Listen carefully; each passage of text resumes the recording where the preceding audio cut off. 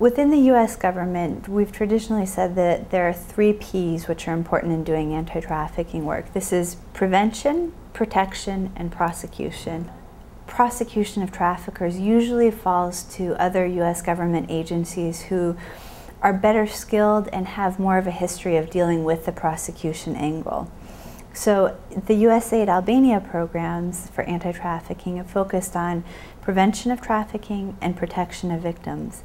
But one of the things that's become increasingly more important for USAID Albania's uh, anti-trafficking programs, but also for, I can see in the government of Albania and local Albanian actors, is the coordination aspect.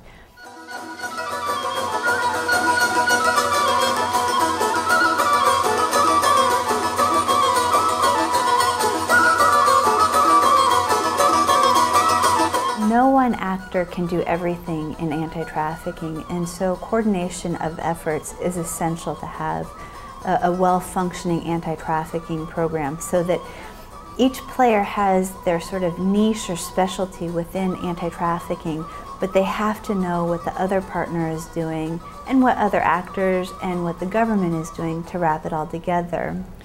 First, we help create forums in local communities, and our NGOs have been key in that because many of our NGOs have, have taken on as part of their work the intent to create local networks for anti-trafficking. But it replicates the larger structure that we have encouraged at the national level. The next thing is that we've, we've worked at um, multi-qark level. We used a mechanism called regional cluster groups, where we would bring together uh, government officials and NGO people from several qarks. So they're from communities that don't necessarily interact very much.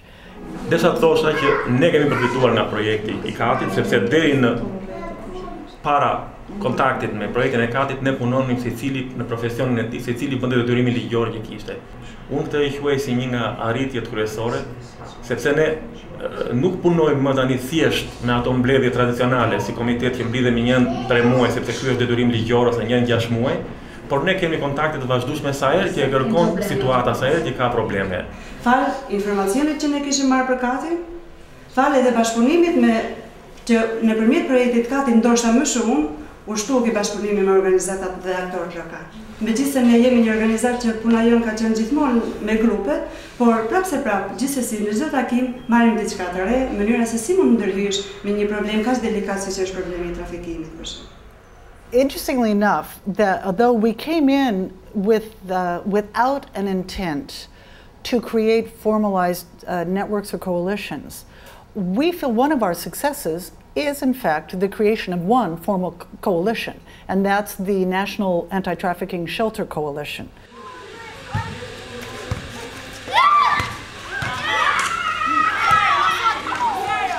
koalicioni i strezave me, që po bashkëpunon për të ofruar dhe adresuar në mënyrën më të përshtatshme nevojat për reintegrimin e viktimave të trafikimit dhe përbëhet nga 5 strezat antitrafik në Shqipëri, si që është uh, qëndra komtare pritse për viktimat e trafikimit, organizatat të ndryshën dhe të barbart, organizatat tjetër Vizion në Elbasan dhe qëndra Vatra në Vlorë dhe qëndra komunitare në Gjirokastër.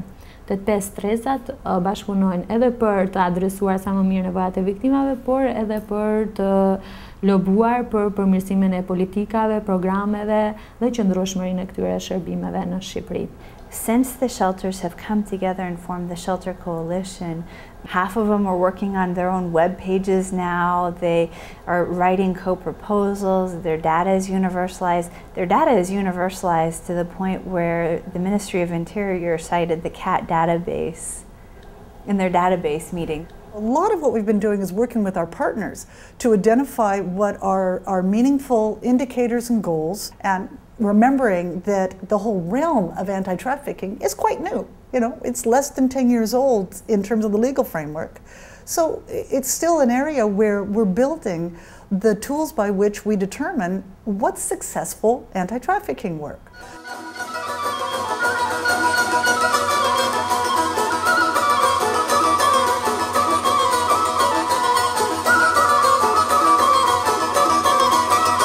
We've been supporting a lot of projects that do awareness raising in uh, high schools and with women's groups and things. But we say, well, how do you know whether it's made a difference? we've been able to discover quite significant levels of message retention. And surprisingly, about 25% of the, of the people involved in awareness raising have actually taken an action. Ne kemi mësuar shumë gjëra të reja dhe në, në për të gjitha seansat jemi kënaqur sepse jemi ndarë në grupe, kemi bërë punë dhe i kemi plotësuar këto fleta dhe i kemi paraqitur para të gjithë nxënësve të tjerë. E të gjithë duke shprehur nga një ide ka dalë një mesazh mjaft i madh që të gjithë na ka kënaqur. Po, diskutojmë, mund të diskutojmë në familje, më shoqërinë dhe na bën domethënë që të mendojmë më shumë dhe të jemi më të matur apo të kemi një informacion më shumë për të bërë diçka në jetë.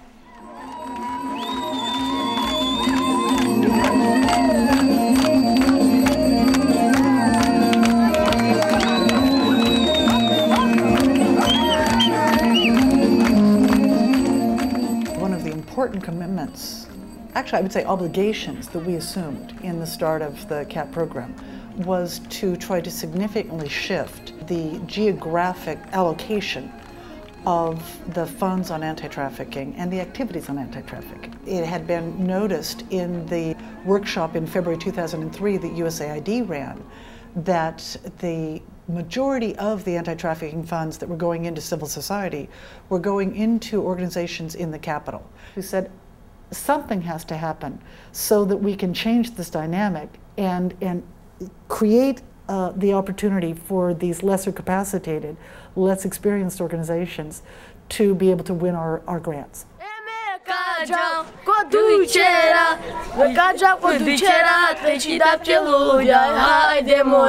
And so in the second phase, we decided to actually use our grant fund also to call for an NGO that would do capacity building for other NGOs. An organization called the Albanian National Training and Technical Research Center, otherwise known as ANTARC, um, got that grant.